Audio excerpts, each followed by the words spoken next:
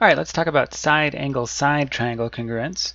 Um, this is just another one of the rules we're going to use here, learning about uh, the different ways we can prove the two triangles are congruent. Side angle side is obviously just what it says, requires that we have a side that is congruent and then an angle in between the two sides that is congruent. Let's move up on top here so all my lines show better. There we go.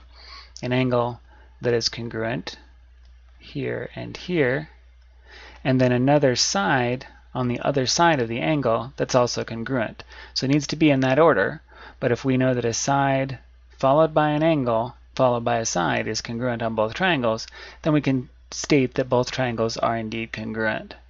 We don't need to know anything about that other side over here or about these other two angles over here to know for certain that those two triangles are congruent. Now if we want to kind of look at that from a logical standpoint, let's make a little blank area here. If I were to give you, say, two specific lengths of sides, say a long one and sort of a medium length one here, and ask you to build two triangles out of them, you could build pretty much any number of triangles. I mean, you could you could make one that was you know, sort of straight across with the medium length one, and then way down this way with the longer one, and then you'd have another side that was just a little bit shorter than your medium length one maybe over here.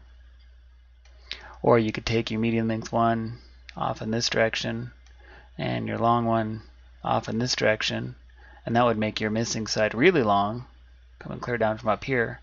So you can see that just by knowing two sides we can't really say anything about a triangle. However if I took those two sides that I gave you originally and I didn't just tell you that you could use those lengths but I also told you that the angle between those two sides was fixed. Let's say it had to be whatever this angle, we'll call it 45 here. It had to be this specific 45 degree angle right here. With that 45 degree angle fixed in place, here, whoops, here, now the number of triangles you can make out of those two lines is drastically reduced. In fact, it's reduced right on down to 1 there's only one way we can connect a line that's this specific length and this specific length that are sort of anchored in place at this 45 degree angle. The only way to connect those two is with a line that goes from here to here. There's no other way to do it. You can't connect these two lines with any other any other length of line or any other different angle than the two that appear right here. So once that once you have those two lengths and the angle in between them fixed, the triangle itself becomes fixed.